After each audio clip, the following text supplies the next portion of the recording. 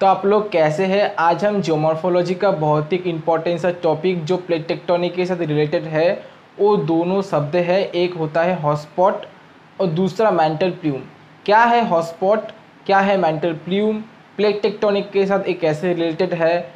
और mental plume और hotspot में क्या डिफरेंट है, वो मैं इस वीडियो में बताऊँगा। तो सबसे पहले आप जान लो कि जो क्या होता है हॉटस्पॉट दरअसल जो हॉटस्पॉट है, वो दो शब्द से बना है। एक तो होता है हॉट, एक होता है स्पॉट। हॉट मतलब होता है गरम या टेम्परेचर। मतलब स्पॉट मतलब होता है स्थान व एरिया।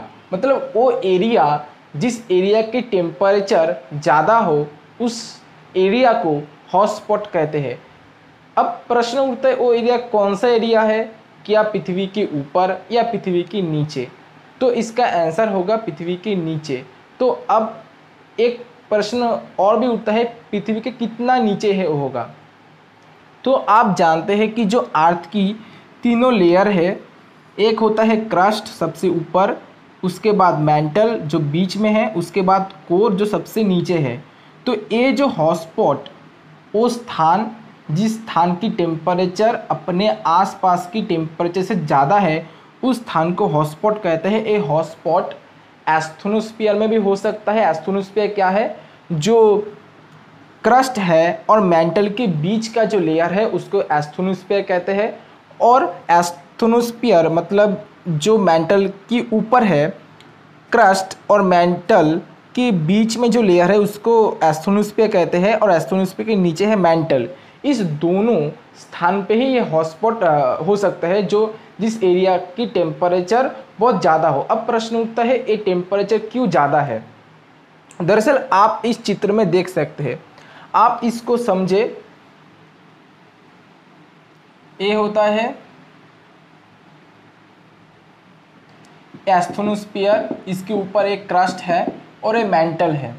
तो मेंटल में कुछ ऐसे स्थान है जिस स्थान पर जो रेडियो एक्टिव एलिमेंट है उसकी कॉन्सेंट्रेशन उसका जो आ, मात्रा है वो बहुत ज़्यादा है। मतलब जो रेडियो एक्टिव एलिमेंट है मेंटल की कुछ स्थानों पर बहुत ज़्यादा है कुछ स्थानों पर बहुत कम है। मतलब ए समान रूप से सब जगह नहीं मिलते मतलब मेंटल में। तो मेंटल में कुछ स्थान ऐसे हैं जिस स्थान पर जो रेडियो एक्टिव एलिमेंट के है, बहुत ज़्यादा है। रेडियो एक्टिव एलिमेंट क्या है? रेडियो एक्टिव एलिमेंट बहुत ही हीट जनरेट करता है। हीट एनर्जी तो जो रेडियो एक्टिव एलिमेंट है, वो बहुत ही हीट जनरेट करता है। आप मान लो जो मैंटर की मैग्मा है, उस अब समझो इस स्थान की रेडियो एक्टिव एलिमेंट बहुत ज़्यादा है। अगर इस एरिया की रेडियोक्टिव एलिमेंट बहुत ज़्यादा है तो इसका मतलब है इसका टेम्परेचर बहुत ज़्यादा होगा। क्योंकि अगर हीट ज़्यादा होगा तो टेम्परेचर ज़्यादा होगा। अगर इस स्थान की मैग्मा जो है, वो और भी गर्म हो जाएगा। अगर गर्म होगा तो उसका वॉल्यूम भी बढ़ जाएगा। अपने जो फिज़िक्स में सीखा है कि जित, जो भी ऑब्जेक्ट है, अगर उसका टेम्परेचर बढ़ाए बढ़ जाए तो उसका वॉल्यूम भी इक्वल से बढ़ जाएगा। तो अगर टेम्परेचर बढ़ेगा तो उसका वॉल्यूम भी बढ़ेगा। अगर टेम्परेचर घटेगा तो उसका वॉल्यूम भी घटेगा।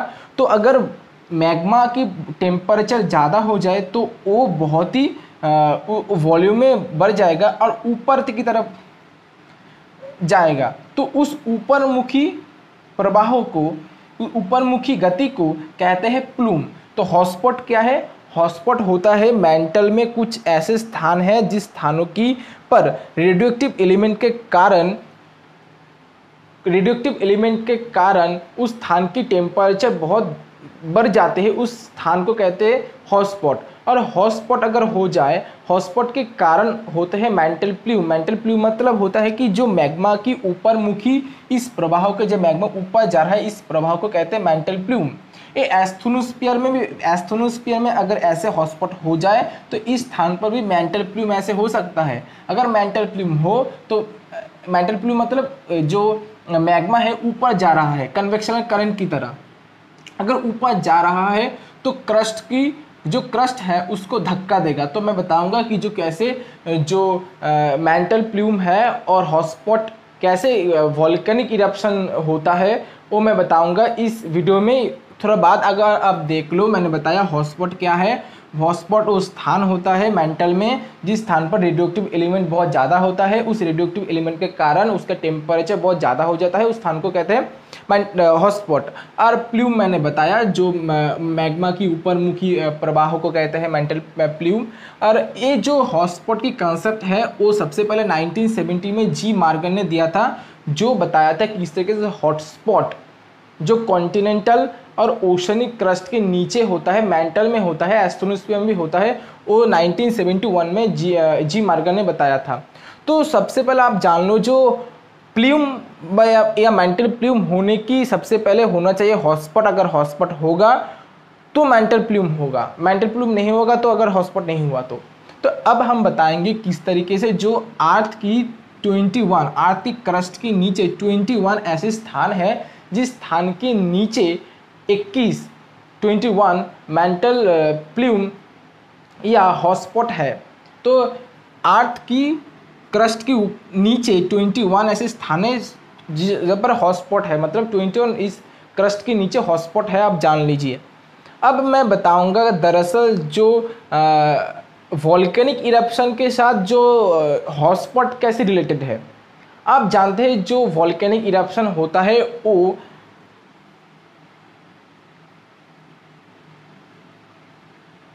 अगर दो प्लेट आपस में ऐसे अपने फेस टू फेस ऐसे आए तो एक जो भारी प्लेट है, वो हल्का प्लेट की अंदर घुस जाएगा। और भारी जो प्लेट है, वो मेंटल एस्थोनोस्फियर की हाई टेम्परेचर वजह से, गलने की वजह से जो मैग्मा है मैग्मा ऊपर जाएगा, वहाँ पर वॉल्केनिक इरप्शन होगा, उसको कहते हैं सेंट्रल इरप्शन तो हम जानते हैं जो वॉल्केनिक इरप्शन होता है, वो प्लेट की मार्जिन पर होता है। अगर आपको एक प्रश्न दिया कि जो प्लेट के अंदर क्यों वॉल्केनिक इरप्शन होता है, प्लेट की बीच में, या प्लेट के अंदर में क्यों वॉल्केनिक इरप्शन होता है तो इसको आप इस हॉटस्पॉट के ज़रिए से व्याख्या कर सकते हैं।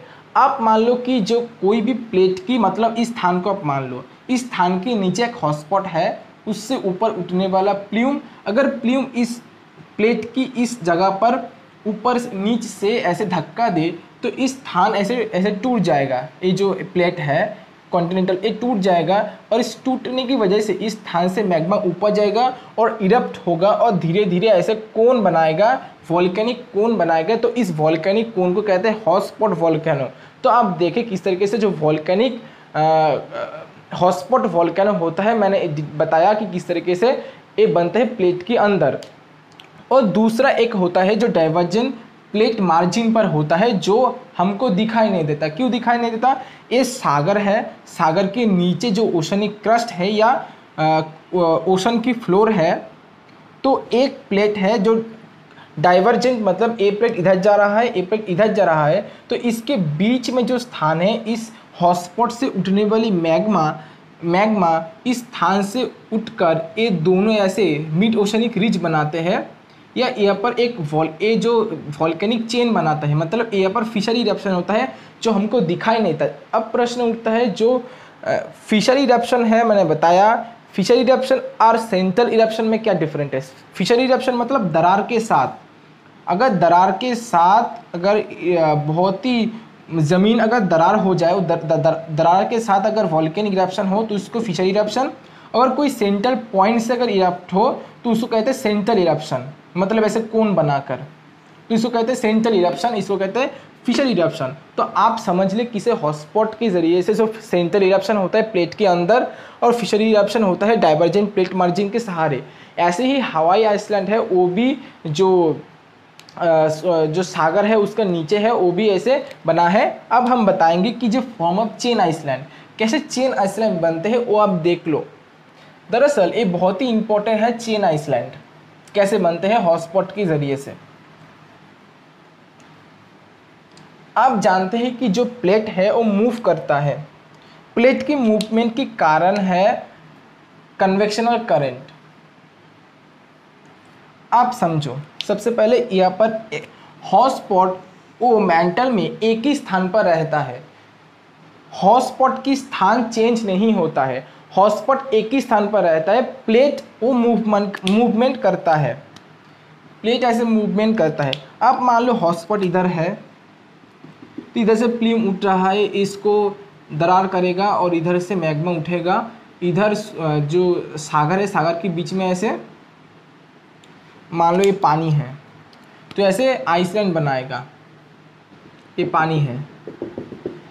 तो प्लेट ऐसे मूव कर रहा है। ए जो वॉल्केनो है ये कुछ दिन बाद ए इधर चला आएगा। तो इधर से और इरप्ट नहीं होगा, क्योंकि जो मैग्मा ये अपन नहीं है।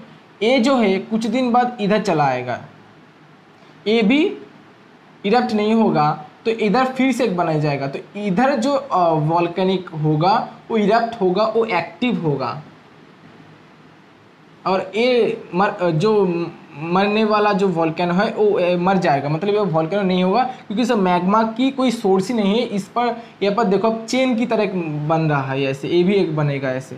तो पहले ए था इधर, उसके बाद इधर ए बाद इधर ए भी इधर जाएगा, और एक बनेगा, इधर जाएगा। तो एक लंबा प्रोसेस चलता है, इसके ज़रिए से एक चेन की तरह जो होता है, इसको चेन वॉल्केनिक इरप्शन होता है, जो हॉटस्पॉट के ज़रिए से आपको इसको एक्सप्लेन करना चाहिए। और मैंने पूरा डिटेल में बताया कि अगर आपका ये वीडियो अच्छा लगे तो लाइक कीजिए सब्सक्राइब कीजिए और आपका कोई भी सवाल हो मेरे इस वीडियो के ज़रिए से, आप मेरे कमेंट सेक्शन में कर सकते हैं और मेरा जो प्रीवियस वीडियो है, आप उसको देखिएगा और अपने दोस्तों के भी शेयर करेंगे। Thank you